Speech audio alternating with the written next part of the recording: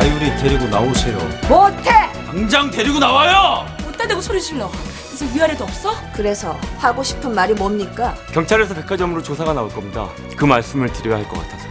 내보내는 게 급해도 그렇지. 그렇게 무리를 하면 어떡해. 무식한 건 지 엄마하고 딸하고 아주 똑같네 그냥. 나 무식하다 이놈아! 어쩔래! 당장 안 나가! 내가 뭐